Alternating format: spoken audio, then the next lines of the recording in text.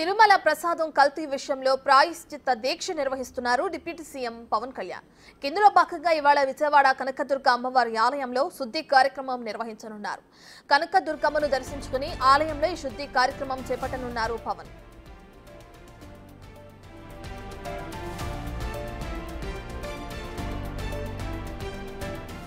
పదకొండు రోజులు చేస్తున్న ప్రాయశ్చిత దీక్షను వచ్చే నెల రెండవ తేదీన తిరుమలలో దీక్ష విరమించనున్నారు. అంతకుముందు రోజు అక్టోబర్ ఒకటవ తేదీన అలిపిరి మెట్ల మార్గం ద్వారా తిరుమలకు చేరుకోనున్నారు పవన్.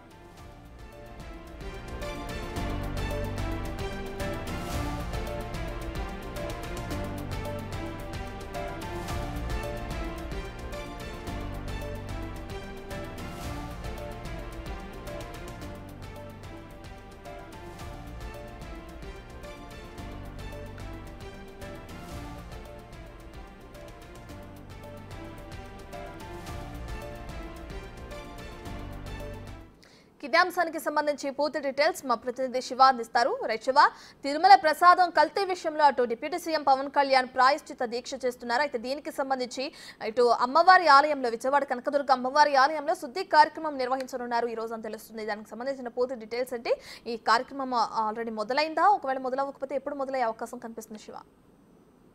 రత్న మొత్తం మీద చూసుకుంటే కనుక విజయవాడ ఇంద్రకీలాద్రికి ముందు చేపట్లోనే జనసేన అధినేత ఉప ముఖ్యమంత్రి పవన్ కళ్యాణ్ రాబోతా ఉన్నారు. అమ్మవారి ఆలయాన్ని శుద్ధి కార్యక్రమంలో కళ్యాణ్ స్వయంగా పాల్గొనబోతున్నారు. ప్రధానంగా చూసుకుంటే ఆలయానికి సంబంధించి ఇరువల ఇటీవల కాలంలో తిరుమల తిరుపతి దేవస్థానంలో జరిగిన పరిణామాలు అంటే లడ్డు వ్యవహార శైలికి సంబంధించి కూడా రాష్ట్ర వ్యాప్తంగా అన్ని దేవాలయాల్లో శుద్ధి కార్యక్రమం సంప్రోక్షణ కార్యక్రమాలు నిర్వహించాలని చెప్పి అధికారులు భావించారు. దానిలో భాగంగానే నిన్న తిరుమల తిరుపతి దేవస్థానంలో మహా సంప్రోక్షణ మహాయాగం కార్యక్రమాల్ని అధికారులు నిర్వహించారు ఘనంగా. ఈ రోజు రాష్ట్రంలో ప్రముఖ దేవాలయాల్లో కూడా నిర్వహించాలని చెప్పి ప్రభుత్వం భావించింది. దానిలో భాగంగానే ఈ రోజు శ్రీకాళహస్తి అన్నవరం విజయవాడ ఇంద్రకీలాద్రి దగ్గర కూడా శుద్ధి కార్యక్రమాల్ని నిర్వహించబోతున్నారు.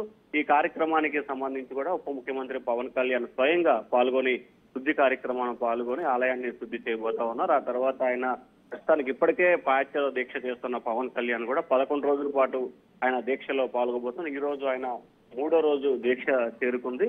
అలాగే వచ్చిన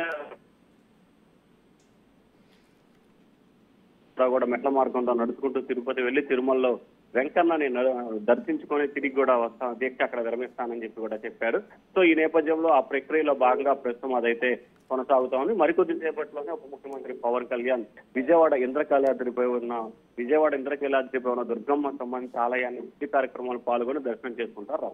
రైట్ శివ ఇక మరి కాసేపట్లో మీరు చెప్పినట్లుగే అటు డిప్యూటీ సీఎం పవన్ కళ్యాణ్ కనకదుర్గమ్మ అమ్మవారి ఆలయానికి చేరుకోనున్న క్రమంలో మరి అక్కడ ఎటువంటి ఏర్పాట్లు చేయడం జరిగింది?